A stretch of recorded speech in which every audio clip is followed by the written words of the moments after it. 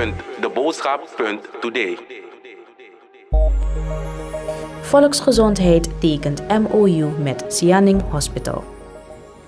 Het ministerie van Volksgezondheid heeft een Memorandum of Understanding MOU getekend met Sianing Hospital of Traditional Chinese Medicine.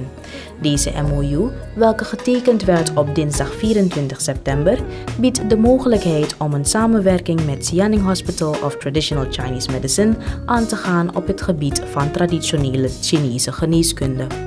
Met de overeenkomst zijn geen van beide partijen nog enige vorm van verplichting aangegaan.